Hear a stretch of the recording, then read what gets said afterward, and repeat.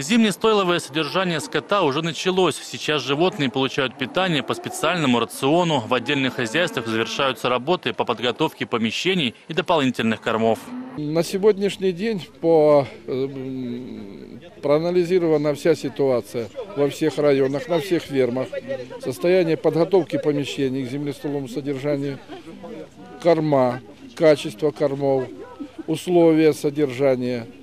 Я бы сказал, на сегодняшний день оценка удовлетворительная. На семинаре говорили о социально-экономическом развитии сельскохозяйственных показателях. Отдельно обсудили вопросы обеспечения кормами, затронули тему племенного животноводства. Сейчас в регионе 25 племенных хозяйств. Все они активно взаимодействуют с департаментом, ведется строгий учет и контроль скота. Среди озвученных проблем аграрного сектора особо отметили нехватку кадров. Необходимо привлекать в аграрный сектор молодых специалистов, особенно зоотехников.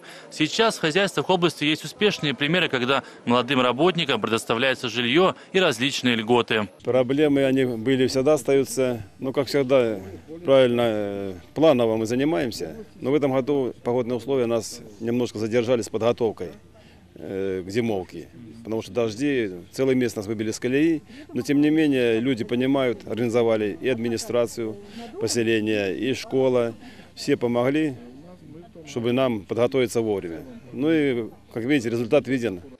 Этот семинар первый в этом году, но далеко не последний. Такая плановая работа Департамента по сельскому хозяйству проводится каждый год. Этой осенью в области состоятся еще два подобных семинара.